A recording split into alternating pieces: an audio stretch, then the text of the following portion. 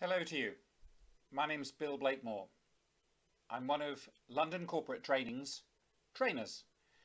I have worked for them now for about eight years and I focus on topics frequently to do with risk and risk is the subject matter of what we're going to be looking at today. And the reason we're looking at risk is because I'm a lawyer. I practiced as a barrister for a few years early in my career and if lawyers are about anything, they're about managing risk for their clients. So if you find yourself on a training course with me at some point in the future, either an online course, which I do, or face-to-face in London perhaps, we'll often be looking at the subject of risk. Maybe risk within contracts, risks within organizations, uh, or other subjects uh, which touch on the question of risk. So we need to think about what actually is risk. After all, we use the word all of the time, but I think we should start off with some definitions. The definition I like most is one that uh, Johnson & Johnson use in their risk framework. And it goes like this. Risk is viewed as the combination of the probability of an event, and we're usually talking about an unwanted event, and the impact of its consequences. So that means when we're thinking about when bad things happen, we're considering how likely is it a bad thing might take place, and if it does happen, how serious will that be? What will be the gravity of the situation after that risk has occurred? In the slide in front of you right now, you can see a number of people who are clearly managing risk, either because they've been told to or because they feel it's the right thing to do. Look at those people who are doing social distancing in the bottom right hand corner, standing two metres apart outside a shop. They're queuing up. They know they can't bunch up together in a queue in the normal way because there's a risk that they might catch this awful COVID-19 virus from somebody elsewhere in the queue. So they have to stand apart. Or the folks in the centre of the screen. There you can see the message, stay at home. Casa, stay in your house. Um, and that's because the Spanish government have required people to do just that. Otherwise, you can see government there taking place. In fact, the House of Commons, bottom left-hand corner, front bench for the government, and people sitting apart from each other.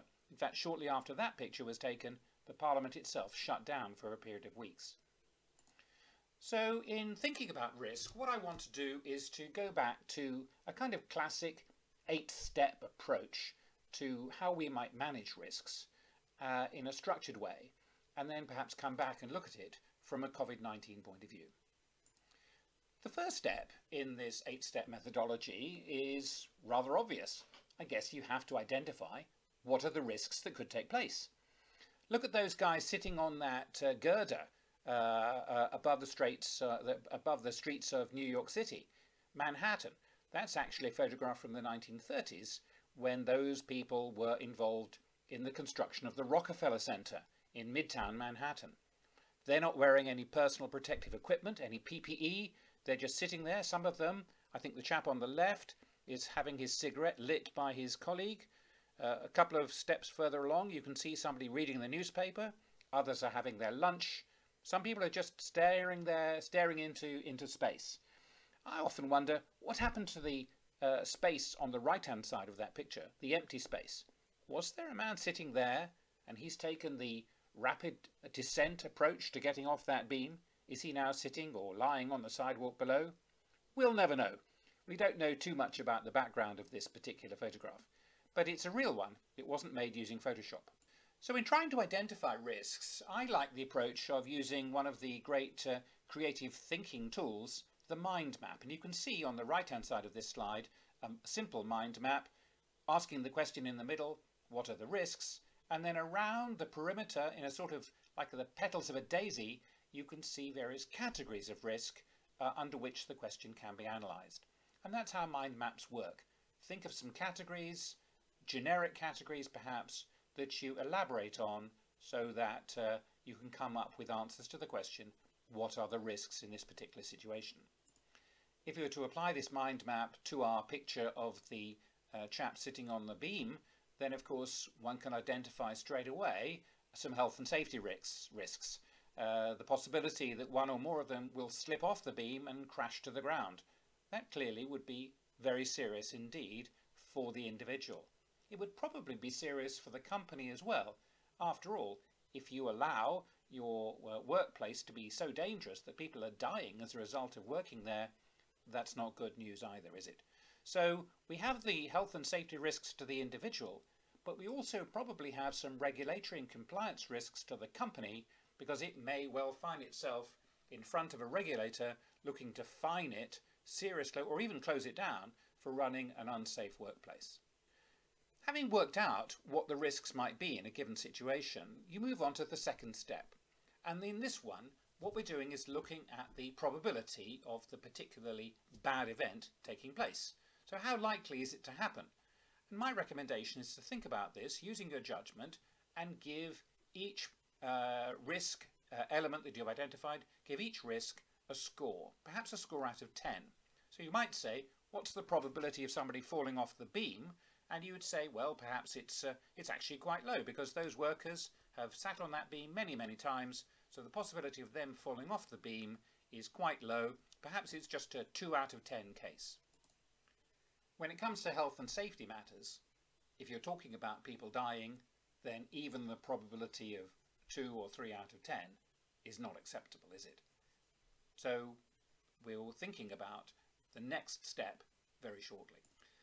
So having given a score for probability for each of your major risks that you've identified, your third step is looking at impact. Essentially, how serious is it if this risk takes place? And impact can also be assessed with a score. So what you end up with for each risk are two scores. One for how likely it is the risk will occur, and the second one, how impact will it be impactful will it be if it does occur? This leads us on to step four, where we use the data that we've created with our analysis of probability and impact, and we plot the data on a graph. We create a kind of map, and that's what you can see in the slide in front of you right now. So if we look at the risks set out uh, going from letters A to G, you can work out from their positions on the chart how likely it is and how impactful it will be if any of these risks do take place. Look at risk A, for example, in the top left-hand corner of the chart. Now, risk A is quite a long way up the probability index, isn't it? The upright axis, the y-axis, is the probability axis here. And I would say that risk A has got a likelihood, a probability of perhaps 8 out of 10. That's pretty likely. But if we imagine a line going from where risk A is on the chart down to the x-axis, the horizontal axis on our chart, you can see that the score for impact, which is what the, the x-axis is all about, the score for impact is actually rather low. So this would mean that we have a risk which has a very high probability of taking place, but if it does happen, it won't matter very much. It will have low impact. So if you were stepping out of your house in Britain tomorrow and you were thinking about the possibility of it raining, and the risk associated with that, risk A might well represent your thinking. After all, it rains a lot in Britain, and when it does, it has a, usually a very low impact. We're used to it raining here. We carry umbrellas. We wear, wear raincoats. So we are well able to deal with any light rain that might take place. Contrast that with risk E. Risk E in the bottom right-hand corner of our chart. Risk E is a kind of mirror image of risk A. It has a very low probability of happening, but if it does take place, the impact will be great. So, for example, is if we were assessing whether there's going to be an earthquake tomorrow. Here in Britain, we do have earthquakes. They're very rare, and when they do happen, they tend to be quite small scale. So risk E perhaps represents the possibility of an earthquake happening in the UK. Very low chance of it happening, but if it were to happen, if it was one of those very rare occasions where the earthquake did happen, it could have a quite a big impact on the location where it took place. So all around that chart you can see risks with different degrees of probability and different degrees of impact which uh, we distribute around and by turning this information into a map we're able to make a good assessment of risk. Step 5 is a kind of variant of step 4 and in this case what we do is actually recognise that we have limited priorities, let's say limited resources, which we have to use in a priority way. So we put in a line, a kind of tolerance line, which tells us, first of all, how close uh, various risks are to being essentially acceptable and how far away some of us might be. Um, and it also is a way of differentiating between risks that we can manage and those which we must do something about, uh, otherwise they're not under our control. Like the insertion of the scores for all of our risks, the insertion of this risk profile uh, tolerance line is also a matter of judgment. And the more information, data that you have, the greater you're going to be able to fine tune the information you can see on a chart like this. I think it's worth saying at this stage that we should recognise that this approach of assessing probability and impact works pretty well for most risks that we might come across.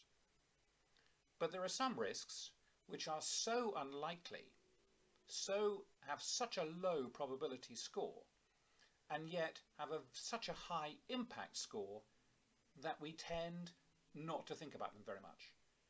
And you might like to consider whether the coronavirus epidemic is in that category. Who really thought it would happen? And now we're in it, we know that it is a very serious matter that we're trying to deal with, causing huge loss of life.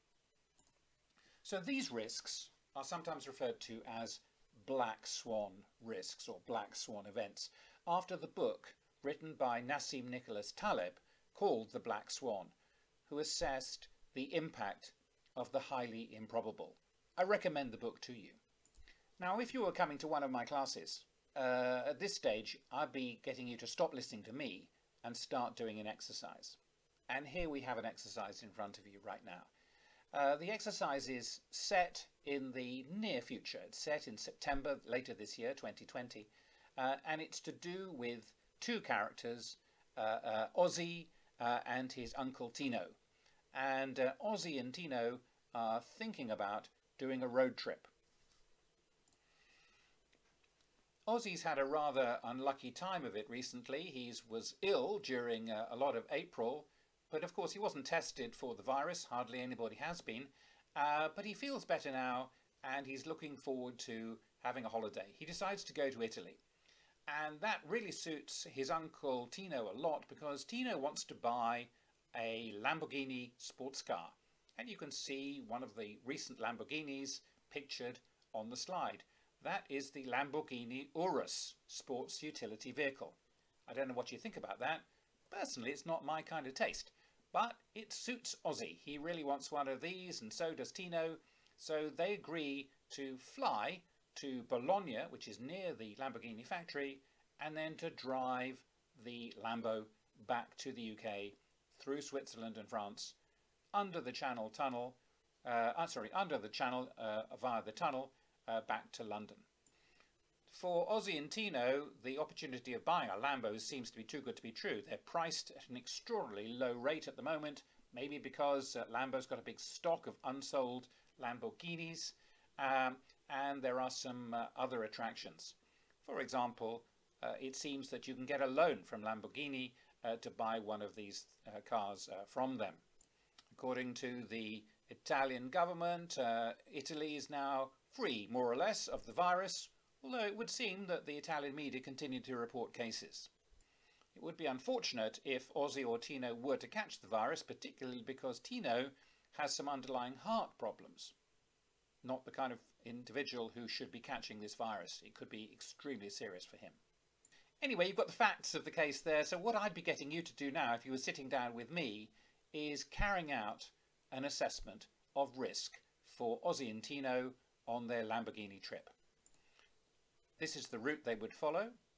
And my exercise would be asking you to identify probably about six risks coming out of this uh, little trip, uh, perhaps under one or more of the categories of risk set out on the mind map. So for each risk that you would be identifying, I'd be getting you to get a score, to assess a score in terms of probability and impact so that we can plot the risks on a chart. Here's an example. Let's assume that Ozzy and Tino take their dog with them uh, on the trip. They take him on the plane and then they put him in the car coming back to drive back from Bologna. When they get to the French border, they're stopped there, they open the door and the dog could run out of the car and run off into France. That would be extremely awkward. They probably wouldn't be able to get the dog back at that stage.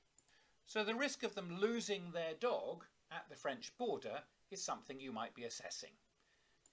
Perhaps the probability of such an event taking place is very unlikely, but the impact, you've lost your prize dog, that would be very serious. So if you look at the chart here, risk D, D for dog, uh, I put on the bottom right hand of my profile chart. Having a very low probability, certainly uh, well below the 2 score on our y-axis, our upright axis, but having a high impact above 8 uh, on the x-axis, the uh, horizontal axis along the bottom. Remember, I'll be asking you to put in your tolerance line, a curve through this chart, identifying uh, risks which are above or below the line in order to assess your priorities. So in the class we'd be coming back and reviewing our results. Probably you'd have done that exercise with some group work and I'd be saying, okay, let's look at the last three steps of my eight-step plan. Step six is where we actually start to do some work with our assessment. We would be looking at what would be our responses to the risk. Essentially, there are four kinds. The fourth sort of four kinds of risk are as follows. You could eliminate or avoid the risk. In this case, not going on the trip would of course eliminate all possibilities of the risk associated with the trip. But then Tino wouldn't have his Lamborghini, Ozzy wouldn't have had his holiday in Italy, so the price of avoiding the risks would have also been high. We'd have lost the benefit of the trip. If you can't avoid or eliminate the risks, then maybe you look at reducing the risks. That would be our second approach. So reducing the risks here, well in the case of the dog I suppose, it would be before you open the door, you chain up the dog. You make sure it can't run out. If it's a question of uh, not catching the virus, perhaps uh, uh, Tino doesn't get out of the car when we get to Italy. He stays uh, in the car and Ozzy wears a mask. Those would be two ways of trying to reduce the risk. Reducing either the probability of catching the virus or uh, maybe reducing the impact of the virus if he catches it. To do that, he would probably also need some medicines with him, wouldn't he? Maybe by that stage we have a, a vaccine or something of that nature. So if he's been vaccinated, then the impact could be less. In fact, it could be that the probability is reduced as well. It would have to see how the vaccine actually worked. A third way of managing uh, risks, responding to risks, is going to be looking at whether you can transfer or share the risks. Now in this case, I think the only way of transferring or sharing most of these risks associated with the trip would be to get Lamborghini, for example, to deliver the car to them. So we're not associated with any of those risks on the highway, risks of catching the virus while we're in Italy. Uh, we get uh, Lamborghini themselves to incur most of those risks. Of course, they might do that, but they would charge you for it, wouldn't they? So if you like transferring or sharing risks, usually has a cost associated with it. The party picking up the risk on your behalf is going to make a charge to you. The fourth approach to responding to the risks is to say, well, look, I'm willing to respond to these risks by accepting them. I'm willing to take the chance. I can't eliminate or avoid them. I've done all I can to reduce them, either the probability or the impact of the risk uh, occurring. Um, I've transferred what I can, but what I'm left with are risks that I'm willing to accept. My seventh step is thinking about contingency.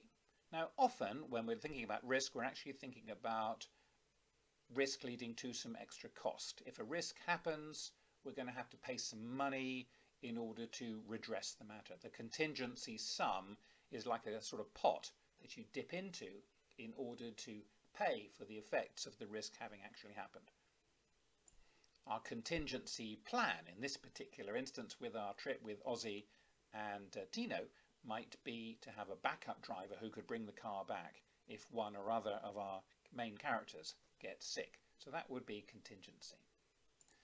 And the final step in our risk management approach is to think about all of the risks, to record them on a chart like this, a risk register, and to use this as a kind of living record of our risk management approach.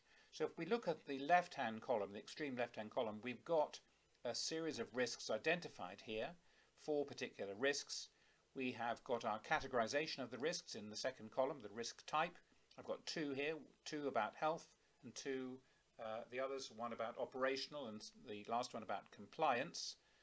We then have our scores for probability and impact, and those scores will change over time. The more actions we take, uh, the scores will vary. We have a traffic light approach, red, amber, green, to alert us uh, visually to which risks we should be focusing on. You can see we have two red risks here that we should be thinking about hard.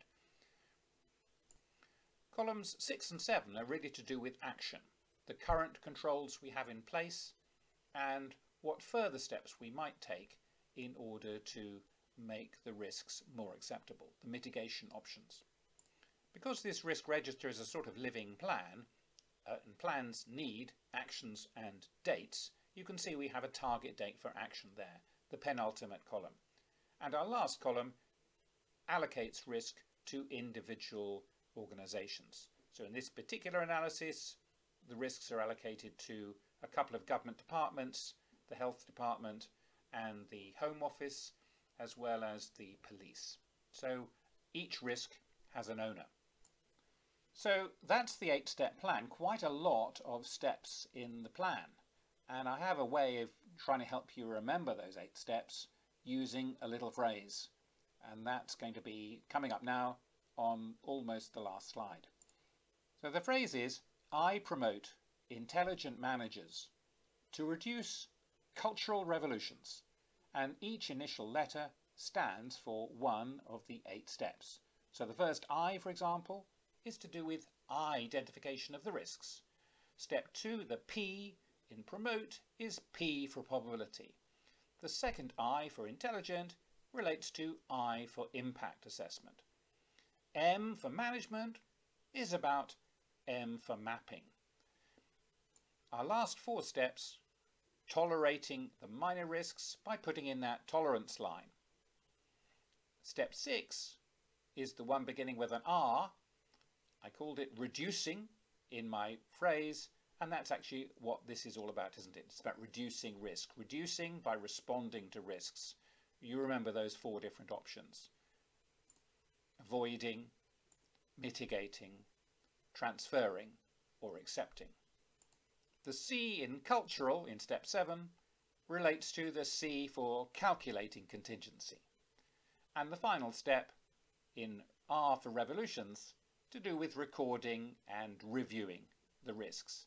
So I hope you like that little phrase. So if you're able to remember the eight steps using that phrase, I promote intelligent managers to reduce cultural revolutions, you're doing pretty well. It works for me, but I have done this before. So my final thoughts on all of this are really to do with the political response that's happening to the lockdown. I really hope that the politicians who are in charge of uh, locking us down and trying to control the situation we find ourselves in are thinking about the probabilities of new COVID-19 outbreaks. I hope they're considering who is at greatest risk and how those risks particularly will relate to vulnerable people and I hope they're also using lots and lots of data to inform themselves because risk management needs data. It needs good information. Otherwise, you're really just working with opinion.